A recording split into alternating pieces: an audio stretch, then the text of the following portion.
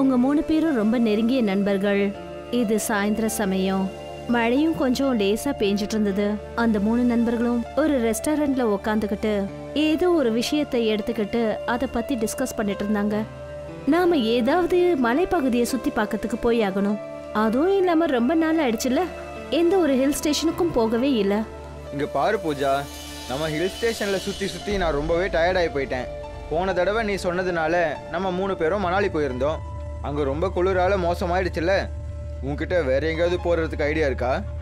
நான் எதையும் யோசிக்கலடா. எனக்கு ரொம்ப நல்லாவே தெரியும் பூஜா உன்னோட கேர்ள் ஃப்ரெண்ட் நீ உன்னோட கேர்ள் ஃப்ரெண்ட் சொல்கிற வார்த்தையை எப்போவும் மீற மாட்டேன் இதில் என்ன விஷயம் தெரியுதுன்னா இந்த தடவையும் அவள் சொல்கிறத நீ கண்டிப்பாக கேட்டு தான் ஆகணும். நீ ஏன்டா இப்படி சொல்கிற எல்லா தடவையும் பூஜா சொல்கிறதெல்லாம் நடக்காது. Okay okay. இந்த விஷயத்துக்காக உடனே ரெண்டு பேரும் சண்டை போட ஆரம்பிச்சிடாதீங்க. சரிப்பா. இந்த தடவை நான் எந்த இடத்தையும் சொல்லல. நீங்க ரெண்டு பேரும் டிசைட் பண்ணுங்க. இந்த தடவை நாம மூணு பேரும் எந்த இடத்த சுத்தி பார்க்க போலான்னு? நம்ம ஏன் இந்த தடவை பனாரஸ் போகக்கூடாது நான் என்ன கேள்விப்பட்டேன்னா பனாரஸ் ரொம்பவே அழகான இடமா? நீ ரொம்பவே சரியா சொல்றடா. நீ ஹில் ஸ்டேஷன்ஸை நிறையவே பெயிண்டிங் பண்ணிட்ட. எனக்கு புரிஞ்சு போச்சு. நீ இந்த தடவை உன்னோட பெயிண்டிங்ல பனாரஸோட அழகை வரையணும்னு நினைக்கிறல்ல? நானும் ரொம்ப நாளா பனாரஸ் போய் பார்க்கணும்னு யோசிச்சுட்டு இருந்தேன். அப்புறம் எதுக்கு லேட் பண்ணிட்டு? நாளைக்கு காலையில நம்ம மூணு பேரும் பனாரஸ் போறோம். மறுநாள் அசோக் நிதின் அப்புறம் பூஜா. காரை எடுத்துக்கிட்டு டெல்லியில இருந்து நேரா பனாரஸை நோக்கி புறப்பட்டு போனாங்க. சில மணி நேரத்திலேயே பனாரஸ்ல இருக்கிற ஒரு ஹோட்டலுக்கு போய் சேர்ந்தாங்க. கொஞ்ச நேரம் வரைக்கும் அவங்க மூணு பேரும் ஹோட்டல்ல ரெஸ்ட் எடுத்ததுக்கு அப்புறம் பனாரஸை சுத்தி பார்க்கறதுக்கு புறப்பட்டாங்க. அது சாயந்தர சமயம் இருக்கும். பனாரஸோட அழகான வியூவை பூஜா தன்னோட கேமராவில் ஃபோட்டோ எடுத்துட்டு இருந்தா. எனக்கு என்ன தோணுதுன்னா நான் பனாரஸ் வரணுன்ற எடுத்த முடிவு ரொம்ப சரிதான்னு தோணுது.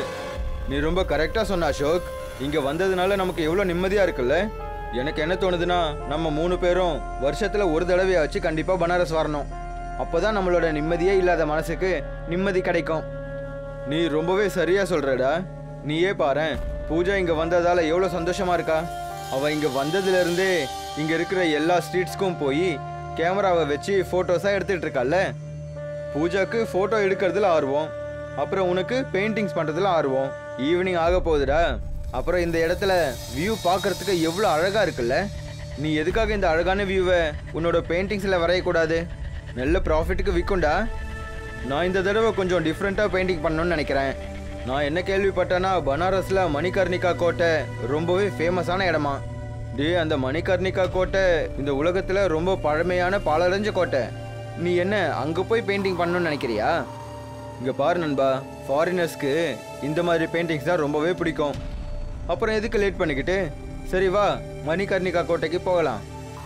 அசோக் நிதின் அப்புறம் பூஜா நேரா மணிகர்ணிகா காட்டுக்கு போனாங்க. அங்க நிறைய பிணங்கள் எரிஞ்சுக்கிட்டு இருந்தது. அதை பார்த்துட்டு பூஜாவும் நித்தினும் ரொம்பவே பயந்து போயிட்டாங்க. கொஞ்ச நேரத்துக்கு முன்னாடி மனசுக்கு ரொம்ப அமைதி கிடைச்சது. ஆனா இங்க வந்ததுக்கு அப்புறம் ஒரு வித்தியாசமான பயம் ஏற்படுது. இந்த இடத்த பார்த்துட்டு உடனே பயப்படாத பூஜா. ஏன்னா இதுதான் உயிர்களோட கடைசி நிலைமை. நீ என்னவோ சொல்றது எல்லாமே சரிதான் அசோக். நம்ம இந்த விஷயத்த மறக்கவே கூடாது. என்னைக்காவது ஒரு நாள் நம்மளோட கடைசி நிலைமையும் இதுதானே? எது எப்படியோ நான் போய் கார்ல உட்கார்றேன். இப்படி சொல்லிட்டு பூஜா அங்கேருந்து நேரா கார்ல போய் உட்காந்தா. அப்புறம் அசோக் மணிகர்ணிகா காட்டை தன்னோட பெயிண்டிங்ல வரைய ஆரம்பிச்சான். அப்போ ராத்திரி எட்டு மணி ஆயிடுச்சு. அசோக் தன்னையே மறந்து பெயிண்டிங் பண்ணிக்கிட்டு இருந்தான். அப்பதான் ஒரு உரத்தமான குரல். அசோக் அப்புறம் நிதினோட காதுல விழுந்தது. நீங்க ரெண்டு பேரும் இந்த நேரத்துல இங்க என்ன பண்ணிட்டு இருக்கீங்க? அந்த உரத்த குரலை கேட்டுட்டு அவங்க ரெண்டு பேரும் பின்னாடி திரும்பி பார்த்தபோது அவங்களுக்கு முன்னாடி ஒரு அகோரி நின்றுக்கிட்டு இருந்தாரு.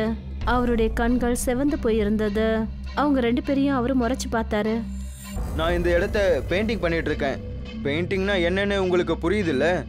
வரைபடம். பெயிண்டிங்னா என்னன்றது எனக்கு புரிய வைக்க முயற்சி பண்ணாதீங்க. நீங்க இங்க பெயிண்டிங் பண்றதுல எனக்கு எந்த ஒரு ஆட்சேபனையும் இல்லை. ஆனா பெயிண்டிங் பண்றதுக்காக நீங்க தேர்ந்தெடுத்த நேரம் தான் தவறானது. போங்க இங்கிருந்து. போயிடுங்க.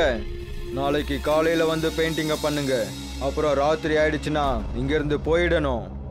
நீங்க என்ன பேசிட்டு இருக்கீங்க எனக்கு ராத்திரி நேரத்துல தான் வந்து பெயிண்டிங்கை பண்ணணும். அசோக் சொன்னதை கேட்டுட்டு அந்த அகோரி அசோக்கை உத்து பார்த்துட்டு என்ன சொன்னாருன்னா நான் உங்ககிட்ட சொல்றேன் பசங்களா நீங்க தவறான நேரத்துல வந்து பெயிண்டிங் பண்ணிட்டு இருக்கீங்க இங்க இருந்து போயிடுங்க. கொஞ்ச நேரம் எங்களை விடுங்களேன். இன்னும் கொஞ்சம் பெயிண்டிங் தான் பாக்கி இருக்கு. இப்படி சொல்லிட்டு நிதின் அசோக்கை பார்த்து என்ன சொன்னான்னா சீக்கிரமா நீ உன்னோட பெயிண்டிங்கை ஃபினிஷ் பண்ணுடா. நம்ம போயிடலாம். அசோக் அவசர அவசரமா தன்னோட பெயிண்டிங்கை வரைய ஆரம்பிச்சான். பெயிண்டிங்கை வரைஞ்சி முடிச்சதுக்கு அப்புறம் அவங்க ரெண்டு பேரும் ரொம்ப சுறுசுறுப்பா அவங்க கார்ல வந்து உக்காந்தாங்க. அப்புறம் அங்கேருந்து புறப்பட்டாங்க. ஹோட்டலுக்கு போய் நிதின் அசோக்கை பார்த்துட்டு என்ன சொன்னான்னா இங்க பாருடா. நான் ரொம்பவே பயங்கரமா பயந்துட்டேன். உன்னை விட நான் ரொம்பவே பயந்துட்டேன்டா. ஆனா அந்த அகோரியோட வார்த்தை எனக்கு சுத்தமா புரியவே இல்லையே. அவர் அப்படி என்னதான் சொல்ல வந்தாரு? இங்க பாருடா. அகோரி எல்லாருமே ரொம்ப ரகசியமான முறையில தான் எல்லாத்தையும் பேசுவாங்க. நான் என்ன கேள்விப்பட்டேன்னா நம்ம அவங்க கிட்ட மரியாதை இல்லாம பேசவே கூடாது. அதனால தான் நம்ம அங்க பேசிட்டு இருக்கும்போது உன்னை தடுத்து அங்க இருந்து போயிடலான்னு உங்ககிட்ட சொல்லிட்டு இருந்தேன். அவங்க ரெண்டு பேரும் பேசுறத பூஜா ரொம்ப கவனமா கேட்டுட்டு இருந்தா. இவ்வளவுலாம் நடந்திருக்கு இதை பத்தியெல்லாம் எனக்கு எதுவும் தெரியாது. உனக்கு எப்படி அது தெரியும்? நீ தான் உன்னோட கார்ல உட்காந்துக்கிட்டு அமைதியா பாட்டு கேட்டுட்டு இருந்தியே. சரி எங்க காட்டுங்க. நீங்க என்ன மாதிரி பெயிண்டிங் வரைஞ்சிருக்கீங்கன்னு? அசோக் அந்த பெயிண்டிங்கை எடுத்து பூஜாவுக்கு காட்டினான் வாவ்! அமேசிங்காக இருக்கு அசோக். நீ அந்த மணிகர்ணிகா காட்டியே அப்படியே உன்னோட பெயிண்டிங்கில் கொண்டு வந்துட்ட. இவ்வளோ அழகாக ஃபோட்டோகிராஃப்ஸில் கூட வராது தெரியுமா? அந்த அளவுக்கு நீ பெயிண்டிங் அழகாக வரைஞ்சிருக்க. எனக்கு நம்பிக்கை இருக்கு அசோக். இந்த பெயிண்டிங் உனக்கு லட்சக்கணக்கில் சம்பாதிச்சு கொடுக்க போகுது பாரு. பூஜா சொன்னதை கேட்டுட்டு மூணு பேரும் சிரிச்சுக்கிட்டு இருந்தாங்க. அவங்க மூணு பேரும் ரொம்ப நேரமாக அவங்க ரூமில் பேசிக்கிட்டு இருந்தபடி அப்படியே நல்லா தூங்க ஆரம்பிச்சிட்டாங்க. பாதி ராத்திரி இருக்கும். அசோக்குக்கும் நிதினுக்கும் தூக்கத்திலேயே ரொம்ப ஹீட்டாக இருக்கிற மாதிரி ஃபீல் பண்ணாங்க. அவங்களுக்கு எப்படி இருந்ததுன்னா அந்த ரூம் முழுக்க ஒரே நெருப்பு எரிஞ்சிட்டு இருந்த மாதிரி தெரிஞ்சது. அவங்க ரெண்டு பேரோட நெத்தியில இருந்து வேர்வை தொழிகள் கொட்ட ஆரம்பிச்சது. திடீர்னு இந்த ரூமோட டெம்பரேச்சர் எப்படிடா இவ்வளோ சூடாச்சு? ஆனால் ஏசி ஃபுல் கூலிங்கில் தான் இருக்கு. எனக்கும் புரியவே மாட்டேங்குதுடா. சூடால என்னோட உடம்பே சரியில்லாமல் போகுது. எப்படி இருக்குன்னா நம்ம ரெண்டு பேரும் இப்போவும் அந்த மணிகர்ணிகா கோட்டையோட பக்கத்துல நிற்கிற மாதிரி தோணுது. நிதின் சொன்னதை கேட்டுட்டு அசோக் ரொம்பவே அதிர்ச்சி ஆகி தன்னோட பெயிண்டிங்கை பார்க்க ஆரம்பிச்சான். எதிர்க்க இருக்கிற காட்சியை பார்த்து அவனுடைய கண்கள்ல பயம் அப்படியே உறைஞ்சு போய் நின்னுது. அவன் உணர ஆரம்பிச்சான். நெருப்பு அந்த பெயிண்டிங்குள்ள இருந்து எரியற மாதிரி தெரிஞ்சது. அவனுக்கு எப்படி இருந்ததுன்னா அதாவது பெயிண்டிங்ல வரையப்பட்டு இருக்கிற அந்த சித்திரம் உண்மையானதா தெரிஞ்சது. திடீர்னு பூஜாவும் ரொம்பவே பயத்தோட எழுந்தா. நம்ம ரூம்லயே இவ்வளவு ஹீட்டாக இருக்கு. பூஜா பார்க்கும்போது அசோக்கும் நித்தினும் ரொம்ப பயந்தபடி அந்த பெயிண்டிங்கையே பார்த்துட்டு இருந்தாங்க. திடீர்னு அந்த பெயிண்டிங்குள்ள இருந்து ஒரு கருப்பு புகை வெளியே வர ஆரம்பிச்சது. அந்த கருப்பு புகை அந்த ரூம்குள்ள முழுமையா சுத்திக்கிச்சு. இங்க என்னடா நடக்குது? எனக்கும் ஒண்ணுமே புரிய மாட்டேங்குதுடா. இங்க அப்படி என்னதான் நடந்துட்டு இருக்கு? எனக்கு எதுவுமே தெரிய மாட்டேங்குது அசோக். கொஞ்ச நேரத்துல எல்லாமே சாதாரணமா மாறிடுச்சு. அவங்க மூணு பேருக்கும் எல்லாம் ரொம்ப தெளிவா தெரிய ஆரம்பிச்சது. ஆனா எதிர்க்க இருக்கிற காட்சியை பார்த்துட்டு அவங்க மூணு பேரும் பயத்துலயும் ரொம்ப அதிர்ச்சியிலையும் இருந்தாங்க. அவங்க மூணு பேரும் பார்த்தாங்க. அவங்க தன்னோட ரூம்ல இல்ல. மணிகர்ணிகா காட்ல அவங்க மூணு பேரும் நின்றுட்டு இருந்தாங்க. அதுவும் அந்த எரியிற பிணங்களுக்கு முன்னாடி. எரிஞ்சுக்கிட்டு இருந்த அந்த பிணத்துல இருந்து பார்க்கறதுக்கே ரொம்ப வித்தியாசமா இருக்கிற ஒரு பிணம் எழுந்து நின்னுடுச்சு. அதை பார்த்ததும் அவங்க மூணு பேரும் ரொம்பவே சத்தம் போட்டு கத்த ஆரம்பிச்சாங்க. அதோட உடம்பு அங்கங்க எரிஞ்சிருந்தது. அப்புறம் அதோட கண்கள் சிகப்பா இருந்தது. என்ன நடக்குதுங்க அசோக்? என்னால என் கண்ணையே நம்ப முடியல. எனக்கும் எதுவுமே புரிய மாட்டேங்குது பூஜா. இங்க அப்படி என்னதான் நடந்துகிட்டு இருக்கு? அசோக் அப்ப இவ்வளவுதான் சொன்னான் அப்பதான் அந்த பயங்கரமான பிணம் பூஜாவோட கையை பிடிச்சிருச்சு. பூஜா வலி தாங்க முடியாம கத்த ஆரம்பிச்சா. பூஜாவை விட்டுடு. நீ யாரா இருந்தாலும் சரி பூஜாவை விட்டுடு. ஆனா நிதின் சொன்னதுக்கு அந்த பயங்கரமான உருவம் கொண்ட அந்த பிணம் எந்த ரியாக்ஷனும் காட்டல. அது பூஜாவை இழுத்துக்கிட்டு பிணங்கள் எரியிற இடத்துக்கு கூட்டிட்டு போயிடுச்சு. அப்புறம் திடீர்னு அந்த இடத்த விட்டு காணாம போயிடுச்சு. இதை பார்த்துட்டு அசோக்கும் நித்தினும் ரொம்பவே மோசமா பயந்துட்டாங்க. அவன் பூஜாவை கூட்டிக்கிட்டு எங்க மறைஞ்சு போயிட்டான் அசோக்? எதுவும் புரிய மாட்டேங்குது நித்தின். எதுவுமே புரிய மாட்டேங்குது. அப்படி நம்ம ரெண்டு பேருக்கும் என்னதான் நடந்துகிட்டு இருக்கு? இதெல்லாம் எப்படி நடக்க முடியும்? ஒரு ஆளு நம்மளோட டிராயிங்ல இருந்து வெளியே வந்தான். அப்புறம் பூஜாவோட கையை பிடிச்சுக்கிட்டு அவளை கூட்டிக்கிட்டு மறைஞ்சும் போயிட்டான். ஒருவேளை நம்ம ரெண்டு பேரும் கனவு கண்டுகிட்டு இருக்கோமா? உனக்கு என்ன பைத்தியமா? ஒரே மாதிரி கனவு மூணு பேருக்கும் எப்படி வர முடியும்? திடீர்னு அங்க எரிஞ்சுக்கிட்டு இருந்த பிணக்குவியல் அப்படியே அணைஞ்சு போச்சு. அப்புறம் எல்லா புறமும் ஒரே இருட்டு பரவி இருந்தது. நிதினும் அசோக்கும் பயந்து போய் ரொம்ப மோசமா நடுங்கினாங்க. திடீர்னு அவங்க ரெண்டு பேரோட காதுகள்லயும் அதே அகோரியோட குரல் கேட்டுச்சு. இங்க நின்னு பயந்துகிட்டு இருக்கிறதால எதுவும் நடக்க போறதில்ல. வாங்க என் கூட. நிதின் ரொம்ப நெருக்கமான குரல்ல நடந்த சம்பவங்களை அந்த அகோரி கிட்ட சொன்னான் எனக்கு எதையும் சொல்லாதீங்க. எனக்கு எல்லாமே தெரியும். நீங்க அந்த பொண்ணோட உயிரை காப்பாத்தணும்னு நினைச்சீங்கன்னா என் கூட வாங்க. இப்படி சொல்லிட்டு அந்த அகோரி ரொம்ப அமைதியான பாதையில நடந்து போய்கிட்டு இருந்தாரு. நிதினும் அசோக்கும் அந்த அகோரியை பின்தொடர்ந்து போனாங்க. திடீர்னு அந்த அகோரி ஒரு அமைதியான வீட்டுக்கு எதிரில் போய் நின்னாரு. அந்த இடத்துல ரொம்ப மோசமான இருட்டு பரவி இருந்தது.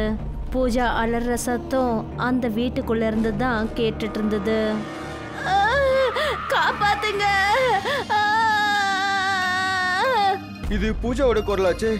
ஆ ஆனா பூஜா இந்த இடத்துக்கு எப்படி வந்தா? நீங்க ரெண்டு பேரும் பேசுறத நிறுத்துங்க. முதல்ல எனக்கு இதை சொல்லுங்க. உங்க ரெண்டு பேர்ல யார் அந்த பொண்ணை காதலிச்சிட்டு இருக்கிறது? நான் நான் தான் அவளை காதலிச்சிட்டு இருக்கேன். அப்படின்னா போ. நீ தான் அந்த பயங்கரமா இருட்டா இருக்கிற வீட்டுக்குள்ள போயே ஆகணும். ஞாபகம் வச்சுக்கோ உன் முன்னாடி ஏதாவது ஒரு பயங்கரமான உருவம் வந்துச்சுன்னா நீ அது மேல ரொம்ப கவனத்தை செலுத்தாத. நேரா போய் உன்னோட காதலியோட கையை பிடிச்சிக்கிட்டு நேரா வெளியே வந்துகிட்டே இரு. தெரியாம கூட பின்னாடி திரும்பி பார்க்க முயற்சியே பண்ணாத. இல்லனா உன்னால அந்த இருட்டுல இருந்து எப்பவும் வெளியே வரவே முடியாது. அகூரி சொன்னதை கேட்டுட்டு நிதின் நேரா அந்த இருட்டுக்குள்ள போனா அவன் அந்த இருட்டு நிறைஞ்ச வீட்டுக்குள்ள நுழைஞ்சான் அவ்வளவுதான். எதிர்க்க இருக்கிற காட்சியை பார்த்துட்டு அவன் ரொம்பவே அலற ஆரம்பிச்சிட்டான் அவன் பார்த்தபோது அங்க நிறைய பேர் இறந்து போன பிணங்கள். பூஜாவை பிடிச்சுக்கிட்டு இருந்தது. என்னை காப்பாத்து நிதின் என்னை காப்பாத்து. நிதின் அங்கிருந்து நேரா பூஜா பக்கத்துல போய் நின்னான் என்னோட கையை பிடிச்சிக்க பூஜா. உனக்கு எதுவும் ஆகாது. பூஜா நிதினோட கையை பிடிச்சா. நித்தின் பூஜாவோட கையை பிடிச்சிக்கிட்டு அந்த இடத்த விட்டு ஓட ஆரம்பித்தான் அப்படி ஓடிட்டு இருக்கும்போது நிறைய வழியால் துடிக்கிற சத்தங்கள்லாம் அவன் காதில் கேட்டுச்சு. ஆனால் அவன் அதை பின்னாடி திரும்பி பார்க்கவே இல்லை. கொஞ்ச நேரத்தில் அவங்க மூணு பேரும் அதே அகோரி முன்னாடி வந்து நின்னாங்க. இது எப்படி சாத்தியமாச்சு பாபா நான் அந்த பெயிண்டிங்கை ஹோட்டலில் தானே வச்சுட்டு வந்தேன்.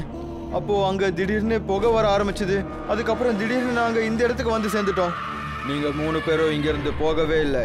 நான் அப்போ உங்கள் ரெண்டு பேரையும் இங்கேருந்து போக சொன்னப்போ அப்போ இந்த இடத்துல சில மாய தீய சக்திகள் வந்து உங்கள் மூணு பேரையுமே மயக்கிடுச்சு. ஆனால் நான் சொல்கிறத நீங்கள் கேட்கவே இல்லை. அப்போது நாங்கள் ஹோட்டல் போனது அங்கே போய் நாங்கள் பேசினது அதெல்லாம் என்ன? அது எல்லாமே உங்களோட பிரம்ம. ஞாபகம் வச்சுக்கோங்க. எந்த இடத்துக்கு போகிறதுக்கும் ஒரு சரியான நேரம் இருக்குது நீங்க உங்க வீட்டு பெரியவங்க சொல்றத கவனமா கேளுங்க. அவங்க சொல்ற விஷயங்களை விளையாட்டா எடுத்துக்காதீங்க.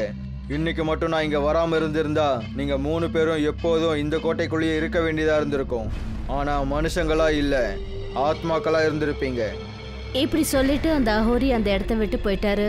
அசோக் பூஜா அப்புறம் நிதின் அன்னைக்கு ராத்திரியே அவங்க வீட்டுக்கு திரும்பி வந்துட்டாங்க. இன்னைக்கு கூட அவங்க இந்த சம்பவத்தை நினைச்சாங்கன்னா உள்ளுக்குள்ள பயங்கரமா நடுங்கி போறாங்க.